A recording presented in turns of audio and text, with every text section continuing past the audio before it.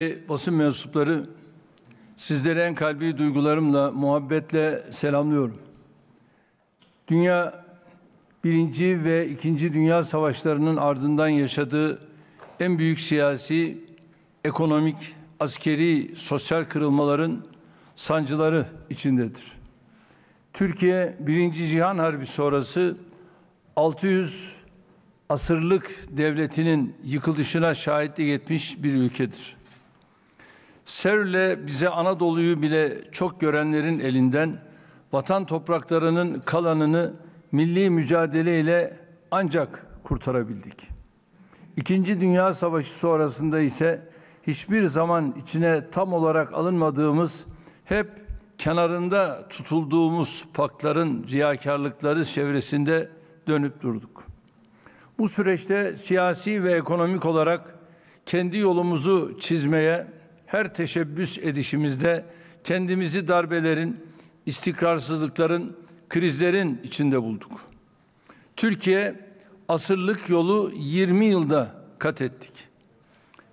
Bu şekilde diyerek, düşünerek ifade ettiğimiz büyük demokrasi ve kalkınma hamlesi sayesinde nihayet kendi hedeflerini, kendi vizyonunu belirleyip uygulayabileceği bir iklime kavuştu. Altını bir kez daha çizerek belirtmek istiyorum ki Türkiye artık siyasi ve güvenlik önceliklerini bizzat kendisi tayin eden ve uygulayabilen bağımsız bir ülkedir. Türkiye artık kendi ekonomik ve sosyal programlarını geliştirebilen ve hayata geçirebilen güçlü bir ülkedir. Türkiye artık medeniyet ve tarih birikiminin farkına varmış, bunun gerektirdiği insani duruşu da her alanda ortaya koyabilen bir ülkedir. Ülkemize kazandırdığımız belki de en büyük hizmet, milletimizin her bir ferdinin hücrelerine kadar sinen bu özgüven ve kararlılık duygusudur. Geçtiğimiz hafta Birleşmiş Milletler'de ülkemizin uluslararası alandaki resmi adını Türkiye'den Türkiye'ye çevirmiş olmamız da işte bu yeni dönemin sembollerinden biridir. Bundan sonra ülkemizin tüm uluslararası muhatapları, kendi kurum ve kuruluşlarımız, vatandaşlarımız göğüslerini gererek devletlerinin adını Türkiye olarak ifade edebilecektir.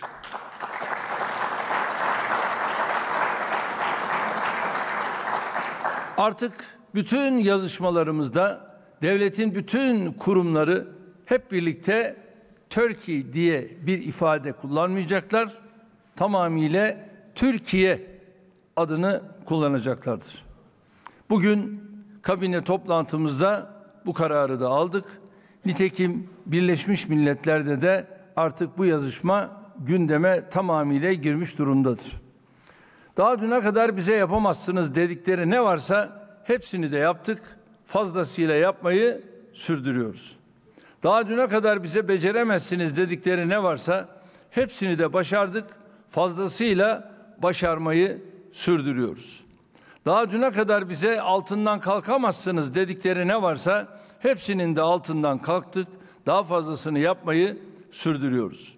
Çünkü Türkiye kendisine biçilen gömlekleri yırtmış, ayağına vurulan prangaları çözmüş, mazisiyle arasına çekilen duvarları yıkmış, üzerine konan ipotekleri kaldırmış bir ülkedir.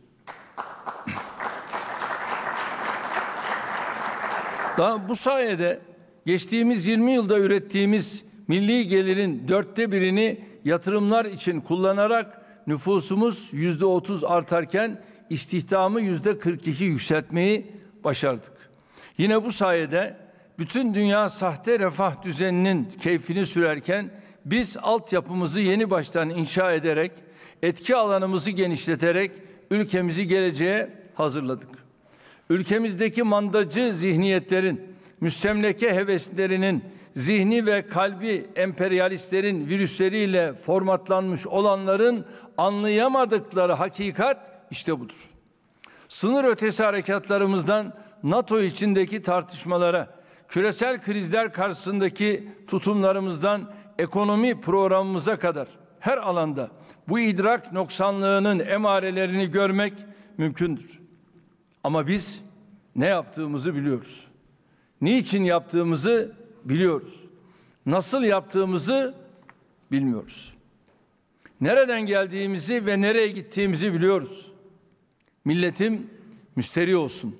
Milletim gönlünü ferah tutsun.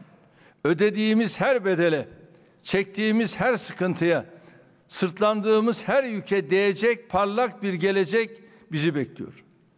Büyük ve güçlü Türkiye'nin inşasında kat ettiğimiz her mesafe bizim ve evlatlarımızın müreffeh yarınlarına doğru atılmış bir adımdır. Yeter ki bu süreçte birliğimize, beraberliğimize, kardeşliğimize halel getirmeyelim. Bozgunculara, muhterislere, beşinci kol elemanlarına fırsat vermeyelim. Bunu başardığımızda 2053 vizyonunun bir afaki söylem değil, hızla yaklaştığımız bir hakikat olduğunu hep birlikte göreceğiz. Aziz milletim, ülkesinin ve milletinin geleceği için hayali olmayanların vizyon peşinde koşması ve hedefler belirlemesi de mümkün değildir. Bizim hayallerimiz de, vizyonlarımız da, hedeflerimiz de milletimizin güvenli, huzurlu ve müreffeh geleceği içindir.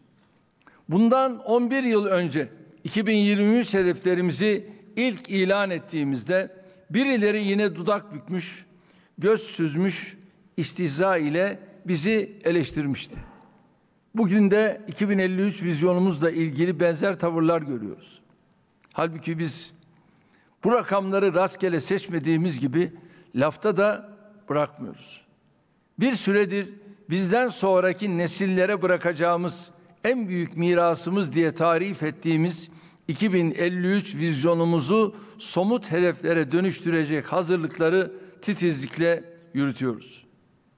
Dün 5 Haziran Dünya Çevre Günü münasebetiyle bir kez daha havasıyla, suyuyla, toprağıyla, ağacıyla yaşadığımız evrenin bize Allah'ın bir emaneti olduğunu tekrar hatırladık. Bunun için de çevreden başlayarak tüm hizmet alanlarına kadar genişleyen hazırlıklarımızı sürekli geliştirerek projelere, planlara ve uygulamalara dönüştürüyoruz. Birileri çevre adına sadece salon toplantıları yapar veya sokakları yakıp yıkarken biz 20 yıldır evlatlarımıza daha temiz, daha huzurlu, daha yeşil şehirler bırakacak hizmetlere imza attık. İklim değişikliğiyle yangınlar, seller, hortumlar artarken biz bugünden geleceği kuşatacak bir vizyona yöneldik. Dünyada orman varlığını yükselten nadir ülkelerden biriyiz. Ülke genelinde korunan alan miktarını yüzde 12'ye varan oranda artırarak tabiat güzelliklerimizin üzerine adeta şemsiye olduk. Kamuoyuna açıkladığımız 81 ile 81 milyon metrekare millet bahçesi hedefimiz doğrultusunda 450 projenin yapımına başladık. Atatürk Havalimanı Millet Bahçesi de bunlardan biridir. Karadeniz'de Kızılırmak Deltası'na, Ege'de Foça'ya, Akdeniz'de Patara'ya, Doğu Anadolu'da Van Gölü'ne kadar uzanan ekolojik koridorlar belirledik. Salda'yı belirledik ve bunlar üzerinde çalışmalarımızı yoğunlaştırdık. Hedefimiz Evliya Çelebi'nin bir sincabın Edirne'den Kars'a toprağa basmadan ağaçtan ağaca zıplayarak gidebildiği Anadolu tasvirini hayata geçirmektir. Bisiklet yollarıyla, yürüyüş yollarıyla, çevre dostu sokaklarıyla, gürültü bariyerleriyle ve daha pek çok projeyle şehirlerimizin hayat kalitesini yükselttik. Paris İklim Anlaşması'na taraf olurken de daha adil bir dünya için mazlumların ve mağdurların haklarını koruyacak bir perspektifle hareket ettik. Dünyamızın geleceğinde taşıdığı önem sebebiyle 2053 vizyonumuzun merkezine iklim değişikliğiyle mücadele projelerimizi yerleştirdik. İklim şuramızı topladık. Tüm sektörlerin yapacağı çalışmaları belirledik. İklim kanunumuzun hazırlıklarına başladık. Bu çerçevede enerjide güneşten rüzgara yenilenebilir kaynaklara yaptığımız yatırımları daha da artırıyoruz. Sanayide, üretimde emisyon miktarını azaltacak temiz teknolojileri destekliyoruz.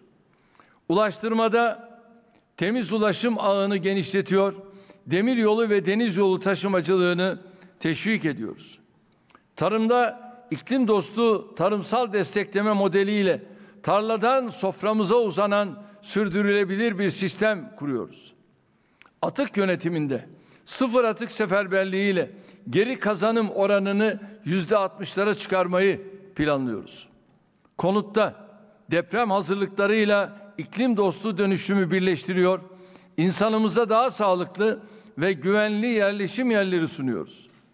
Yutak alanlarda ormanları genişleterek, yeşil koridorları artırarak tabiat temelli çözümlerle karbon dengesini sağlıyoruz.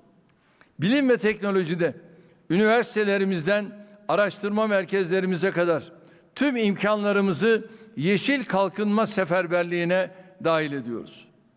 Ticarette sera gazı emisyonlarının ticareti sistemi olarak kurduk, kuruyoruz. Özel sektörümüzün önüne yeni fırsatlar açıyoruz. Finansmanda temiz üretim modellerine yönelik yatırımları destekleyerek ülkemizin cazibe merkezi haline gelmesine katkı veriyoruz. Afetlerde vatandaşlarımızın iklim krizinin yol açtığı yıkımlardan gördükleri zararları hızla telafi ederek mağduriyetlerin önüne geçiyoruz. Eğitimde önümüzdeki dönemden itibaren yeşil dönüşüm hamlesinin tüm eğitim öğretim kademelerinde müfredata girmesini sağlıyoruz. Yerel yönetimlerde belediyelerimizin sorumluluklarını etkin şekilde yerine getirebilmelerini temin için kolaylaştırıcı adımlar atıyoruz. İklim elçileriyle gençlerimizi uzman düzeyinde yetiştirip iklim dostu yeşil dönüşüm süreçlerine dahil ederek yeni sektörler, yeni istihdam alanları oluşturuyoruz. Genel merkezimiz bünyesinde hazırlıklarını tamamladığımız iklim değişikliği ile mücadele Türkiye modeli vizyon belgesiyle tüm bu çalışmaların siyasi perspektifini de ihmal etmiyoruz. Bu başlıkların ve daha fazlasının her birini tüm detaylarıyla yeri ve vakti geldiğinde milletimizle paylaşacağız. Evet, varsın birileri yalanla, iftira ile, çarpıtmayla, kendi ülkesinin çıkarlarına ihanetle, kendi milletinin hayallerini baltalamakla uğraşsın. Biz gençlerimizle 2053 vizyonumuzu şekillendirmek için çalışmaya devam ediyoruz. Türkiye 2053 hedeflerine ulaşacak. Türkiye 2053 vizyonunu hayata geçirecek inancı ve kararlılığıyla gerisini takdiri ilahiye ve milletimizin irfanına bırakıyoruz. Büyük ve güçlü Türkiye'nin inşasında bizimle birlikte olan her bir vatandaşıma şükranlarımı sunuyorum. Geleceği başkalarının yaptıklarını izleyerek değil, kendisi bizzat inşa ederek şekillendirmeye talip her bir evladımıza şükranlarımı sunuyorum. İstiklalimiz ve istikbalimiz yolunda zerre miskal katkısı olan her bir kardeşimize şükranlarımı sunuyorum. Tüm bu projelerin hayata geçmesinde emeği, katkısı ve bakanlıklarımızı, kurumlarımızı, belediyelerimizi, sivil toplum kuruluşlarımızı, özel sektörümüzü tekrar tebrik ediyorum. Aziz milletim, Türkiye'nin geldiği yol özellikle bunu yol ayrımı olarak kabul edecek olursak en çok tartışmaya sebep olan tercihi hiç şüphesiz ekonomi programı olmuştur. Bütün dünyaları faiz, enflasyon, kur ilişkisi üzerine kurulu kabullerden ibaret olan kesin inançlılar ülkemizin yatırım, istihdam, üretim, ihracat, cari fazla yoluyla büyüme stratejisini anlamaya bile çalışmamaktadır. Halbuki bizim ekonomideki programımızın esasını, milli mücadelemizi de zafere ulaştıran hattı müdafaa yoktur, satı müdafaa vardır stratejisi oluşturmaktadır. Enflasyon bir sorun mudur? Evet bir sorundur. Ama Türkiye'nin sorunlarının asıl sebebi ve çözüm yolu tek başına bu başlık mıdır? Kesinlikle değildir. Eğer öyle olsaydı geçmişte sayısız defa uygulanan bir kısmı da başarıya ulaşan enflasyonla mücadele merkezli ekonomi programları sayesinde ülkemiz tüm sorunlarını çözmüş olurdu. Teşhis yanlış olunca tedavi de istenilen neticeyi vermez. Gerçi ülkemizde bizim programımıza kadar bu teşhisin kasıtlı olarak yanlış konduğu ve yine kasıtlı olarak yanlış tedavilerin uygulandığı da bir gerçektir. Türkiye ekonomisini belli bir çizginin üzerine çıkartmayarak yüksek faizle soyulacak kadar diri, üretimle ayağa kalkamayacak kadar halsiz bırakacak programlarla yıllarımız heba edilmiştir. Aslında bu kısır döngünün ilk adımı enflasyonun tanımıyla başlıyor. Batı'nın ekonomi mecralarına göbek bağıyla tabi olanlara göre enflasyon insanların ve kamunun aşırı tüketiminden kaynaklanıyor. Bu sorunun çözümü de faizleri artırarak parayı tasarruf araçlarına yönlendirmek suretiyle tüketimi azaltmak ve böylece fiyatları düşürmek olarak sunuluyor. Peki burada kazanan kim? Yüksek faizle cebi dolan içerideki bir avuç tuzu kuru kesim. Onlarla birlikte yükselen faizlere ve değerlenen liraya heveslenerek dışarıdan gelen sıcak para sahibi fonlar. Elbette ucuzlayan döviz sebebiyle ülkeyi yabancı tüketim ürünlerinin pazara haline getiren ithalatçıları da bu arada unutmamak lazım. Peki kaybeden kim? Üretimin düşmesi sebebiyle işsiz ve açsız kalan, umutları törpülenen, gelecekleri kararan milyonlar. Biz tercihimizi faizleri yükselt baskısıyla bir kez daha ülkeyi soymak için ellerini ovuşturanlardan değil, istihdamı koruyarak işini, aşını, geçimini sürdürmesini sağladığımız milyonlardan yana kullandık. Hele ki dünyanın içinden geçtiği şu ekonomik buhranda tercihi üretimden ve istihdamdan değil de finansal ilüzyonlardan yana kullanmak, ülkeyi emperyalist mandacılara peşkeş çekmek kesinlikle demektir. Bunu da yutmayacağız. Bunlar hadi bizi dinlemiyorlar. Hadi bize inanmıyorlar. Hiç değilse kendi putlarına, kendi ideolojik efendilerine kulak versinler. Uluslararası kuruluş başkanları bile açıkça enflasyonla ve faizle ilgili ezberlerin bozulması gerektiğini söylüyor. Dünya genelinde hala hazırda 136 ülkenin Merkez Bankası enflasyon oranlarının altında faiz politikası uyguluyor. Buna rağmen Türkiye için eskinin köhne enflasyon faiz denkleminde ısrar etmek gafletten kaynaklanmıyorsa alenen ihanet teşebbüsü demektir. Aziz milletim, aslında bugün bizim ülkemizde teknik anlamda enflasyon değil, fiili bir hayat pahalılığı sorunu vardır. Şöyle ki, yaşananlara enflasyon diyebilmemiz için kamunun harcama disiplininin kaybolması, bütçenin çok yüksek açıklarla yönetilebilir olmaktan çıkması gerekir. Bizim 19 yıldır üzerinde en çok hassasiyet gösterdiğimiz konu bütçe disiplinidir. Vatandaşlarımız da kendi bütçelerini çok iyi yönettiler. Bireysel emeklilik sistemimizde 300 milyar liralık birikim oluştu. Bireysel döviz hesaplarının tutarı 110 milyar dolara çıktı. Değeri 650 milyar doları bulan konut yatırımlarıyla 170 milyar doları bulan ithal araba filosuyla insanlarımız refah seviyelerini yükseltti. Bizim dönemimizde hem evi hem arabası olan kişi sayısı yaklaşık 3 kat arttı. Merkez Bankamızın kasasındaki ve vatandaşlarımızın yastık altındaki altın varlığımız 150 milyar doları buldu.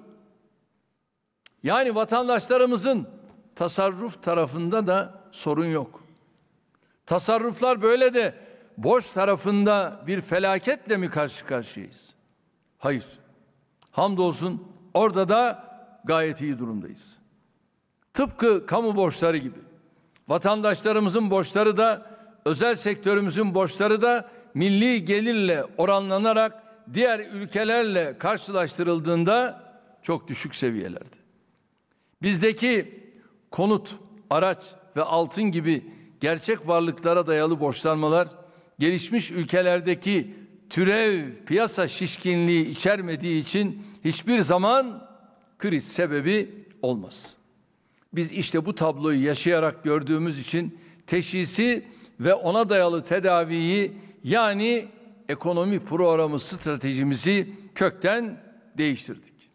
Faizi artırarak zengini daha zengin, fakiri daha fakir yapacak emperyalist finans kurumlarının dayatması ekonomi reçetelerini bir kenara bıraktık. Bunun yerine ülkemizin asıl ihtiyacı olan yatırım, istihdam, üretim, ihracat ve cari fazla yoluyla büyüme esaslı kendi Türkiye ekonomi programımızı uygulamaya başladık. Şimdi gelelim en kritik soruya. Bu programla insanlarımızın canını yakan, hayatını zorlaştıran, refah seviyesini düşüren fiyat artışlarını nasıl engelleyeceğiz? Fiyat artışları normal şartlarda ya üretim azlığı ya da talep fazlalığı sebebiyle ortaya çıkar. Bizde enflasyonun sebebi olarak gösterilen bütçe açığı da tasarruf eksiği de borçlanma seviyesi de olmadığına göre talep kaynaklı bir fiyat artışından söz edilemez. Üretim tarafında da hamdolsun üstesinden gelinemeyecek herhangi bir sıkıntıyla karşı karşıya değiliz. Öyleyse sorun nereden kaynaklanıyor? Sorunun bir tarafında vatandaşlarımızın bir kısmının tasarruflarını hala döviz cinsinden yapmaktaki ısrarı vardır. Sorunun diğer tarafında ise büyüyen üretimimizin gerektirdiği ithal girdilere ve şirketlerimizin genişleyen küresel ağlarının ortaya çıkardığı ihtiyaca bağlı döviz talebi vardır. İşte bunun için vatandaşlarımıza kur korumalı mevduat gibi kur ve altın hesabına dayalı konut kredisi gibi tasarruflarını kendi paramıza dayalı enstrümanlara kaydırmalarını sağlayacak alternatifler sunuyoruz. Aynı şekilde ihracatı teşvik ederek, turizmi destekleyerek, uluslararası yatırımların gelişini kolaylaştıracak, ülkemize döviz girişini hızlandıracak yeni yöntemler geliştiriyoruz. İhracatçılarımız hemen her ay rekorlar kırarak yıllık 242,6 milyar dolarlık rakama ulaşarak sağ olsunlar kendilerine olan güvenimizi boşa çıkarmıyorlar. Enerji fiyatlarındaki faiz artışların ithalatımızda yol açtığı bozulmayı bir kenara bıraktığımızda fiilen cari fazlaya geçtiğimizi söyleyebiliriz.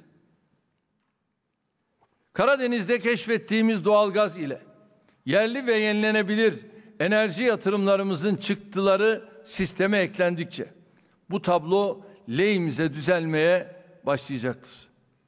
Gelişmiş ülkelerin tamamında ödemeler dengesinde çok ağır sancılar yaşanırken biz hepsinden daha iyi durumdayız.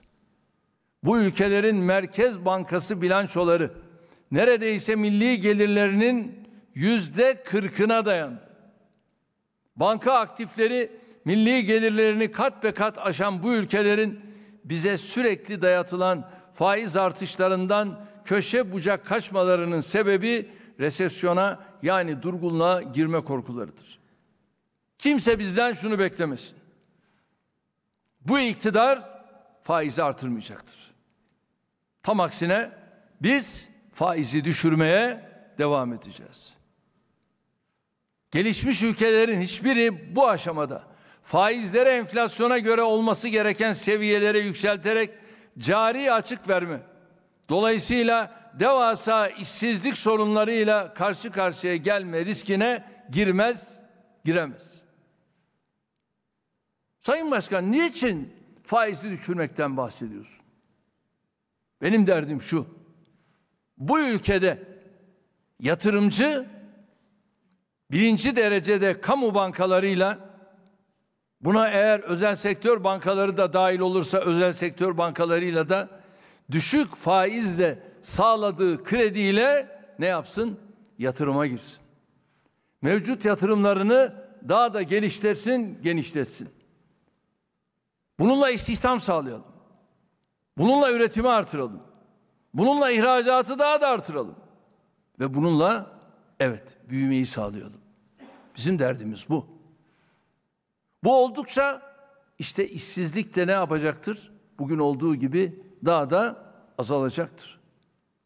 Dünya milli gelirinin yüzde yetmişini oluşturan bu ülkelerin yaşadığı sancılar tabii olarak herkesi etkiliyor. Çin ve Japonya'nın parasal genişlemeye ve faiz indirimine gitmelerinin paralarına bilinçli olarak değer kaybettirmelerinin sebebi bu fırtınadan kaçma çabasıdır. Gerisindeki 20 yıllık bir fiziki ve beşeri hazırlıkla bu sürece giren Türkiye ise fiyatlardaki fahiş artışların yol açtığı sıkıntılara rağmen kendi programıyla hedeflerine doğru ilerlemeyi sürdürüyor. Bütçe gerçekleşmelerimiz pek çok alanda yaptığımız ciddi vergi indirimlerine ve enerji ödemeleri kaynaklı kimi sapmalara rağmen gayet iyi seviyededir. Ülkemizin zaten sınırlı olan kaynaklarını doğrudan ücretlilere, istihdamı artıran sanayicilere, ihracatçılara, turizmcilere, yatırımcılara, esnaf ve sanatkarlarımıza aktararak çok yönlü faydalar sağlıyoruz. Aslında hemen yanı başımızda bir sıcak çatışma patlak vermeseydi, salgın sonrası bu aylarda her kesimden insanımız programımızın somut faydalarını hayatında bizzat görmeye başlamış olacaktı. Biraz gecikmeyle de olsa inşallah önümüzdeki yılın ilk aylarından itibaren bu noktaya geleceğiz. En büyük hassasiyetimiz istihdamı koruyarak ücretlilerin gelir kaybını telafi ederek, fırsatçıların önünü keserek, insanlarımızın üzerlerine kalıcı yükler binmesine engel olmaktır. Fiyatları izahı mümkün olmayan bir şekilde artan ürünlerin üretimini teşvik ederek ve tedarikini kolaylaştırarak stokçuların oyunlarını bozacağız. Kriz tellallarının dört döndüğü bir yerde piyasanın bu kadar canlı işlemesi amacın panik çıkarmak olduğuna işaret ediyor. İstihdam odaklı ekonomik istikrar ile sermaye ve para piyasalarının büyümesini ifade eden finansal istikrar konusunda ciddi bir sıkıntımız bulunmuyor. Fiyat istikrarını ise aldığımız diğer tedbirlerin yanı sıra işimize gelen seviyedeki bir döviz kuruyla cari fazlayı artırarak sağlamayı planlıyoruz. Biz meseleye böyle bakıyor, buna göre çalışıyoruz. Son dönemde ülkemize ilave kaynaklı girişi sağlayacak pek çok girişimde bulunduk. Bunların bir kısmı fiilen şu anda işliyor. Bir kısmında prensipte anlaştık, mekanizmaları kuruyoruz. Bir kısmında ise görüşme safhasındayız. Bir yandan fiyat artışlarını durduracak, diğer yandan milletimizin her kesiminin gelir kaybını telafi edecek çalışmaları tüm bu makro adımlarla destekleyerek programımızı uygulamayı sürdürüyoruz. Dün açıkladığımız Toprak Mahsulleri Ofisimizin buğday ve arpa alım fiyatları çiftçilerimize verdiğimiz desteğin bir işaretidir. Aynı şekilde biraz sonra detaylarını sizlerle paylaşacağım memurlarımızın tamamına teşmil ettiğimiz ek gösterge artışıyla çalışanı ve emeklisiyle tüm kamu görevlilerine verdiğimiz sözü tutuyoruz. Temmuz ayındaki enflasyon farkı artışlarıyla ücretlileri biraz daha rahatlatacağız. Yılbaşında ise tüm çalışanların durumlarını ekonomide gelinen noktaya uygun şekilde gözden geçirerek herkesin hakkını almasını temin edeceğiz. Sosyal yardım şemsiyemizi genişleterek, destek miktarlarını güncelleyerek hiçbir vatandaşımızın mağduriyetine de izin vermeyeceğiz. İnsanı yaşat ki devlet yaşasın ilkesi bu zorlu dönemde de çalışmalarımızın merkezinde yer almayı sürdürecektir. Çalışmaları birlikte yürüttüğümüz Hazine Maliye Bakanımız ve ekonomi yönetimimizle beraber programımızı kararlılıkla uygulamaya devam edeceğiz. Sel önünden kütük kapma peşindeki fırsatçıların takdirini ise milletimize bırakıyoruz. Aziz milletim, konuşmamın son bölümünde kabine çalışmalarımızla bağlantılı bazı hususları sizlerle paylaşmak istiyorum. Biraz önce de ifade ettiğim gibi memurlarımızın ek gösterge düzenlemesiyle ilgili çalışmayı tamamladık. Meclisimizin takdirine sunacak safhaya getirdik. Bilindiği gibi bu konu ilk gündeme geldiğinde öğretmenlerimize, polislerimize, sağlık çalışanlarımıza ve din görevlilerimize ek göstergelerini 3600'e çıkarma sözü vermiştik. Ancak sadece bu kesimler için yapılacak bir ek gösterge artışının memurlarımız arasında adaletsizliğe yol açacağını ve hiyerarşik dengeyi de bozacağını gördük. Bunun için şartlarımızı zorlama pahasına kamu çalışanları lehine bir fedakarlıkta bulunarak tüm memurlarımızın ek göstergelerinde 600 puanlık bir yükseltmeye gitmeyi kararlaştırdık. Yardımcı hizmetler sınıfındakiler de dahil ülkemizdeki 5,3 milyon kamu görevlimizin tamamı önümüzdeki yıl başından itibaren bu düzenlemeden yararlanacaktır. Düzenlemenin hayata geçmesiyle birlikte birinci dereceye gelmiş olma şartıyla söz verdiğimiz tüm meslek gruplarındaki hak sahipleri hemen 3600 ek göstergeye yükseltilecektir. Bunun yanında genel müdür yardımcılarının ek göstergeleri 3600'den 4400'e şube müdürü ve ilçe müdürü seviyesindeki yöneticilerin ek göstergeleri de 2200'den 3000'e çıkartılacaktır. Ek gösterge düzenlemesi memurlarımızın mevcut maaşlarda küçük de olsa bir artış sağlamasının ötesinde asıl emekli ikramiyeleri ve emekli maaşlarında ciddi kazanımlar getiriyor. Somut örnek verecek olursak ek göstergesi 3600'e çıkan 30 yıllık hizmeti bulunan bir memurun emekli aylığı 1234 lira ile 1391 lira arasında emekli ikramiyesi ise 44.500 lira ile 50.150 lira arasında artacaktır. Mevcut maaşlara göre hesaplanan bu tutarlar düzenlemenin yürürlüğe gireceği yıl başındaki rakamlara göre çok daha yüksek seviyelerde gerçekleşecektir. Yapılan artışlar elbette halen emekli olan kamu görevlilerinin maaşlarını da yansıtılacaktır. Ayrıca mülki idare amirleri başta olmak üzere yaptıkları işle özlük hakları arasındaki makas açılan kamu görevlileriyle ilgili iyileştirici bir düzenlemeyi de bu kapsamda gerçekleştireceğiz. Ek gösterge düzenlemesinin memurlarımıza, ülkemize ve milletimize hayırlı olmasını diliyorum.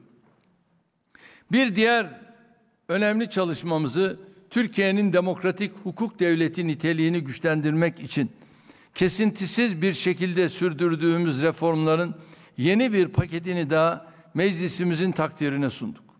Yargı reformu strateji belgesiyle milletimize taahhüt ettiğimiz bu 6. yargı paketi 24 maddeden oluşuyor ve toplam 10 kanunda değişiklik yapıyor.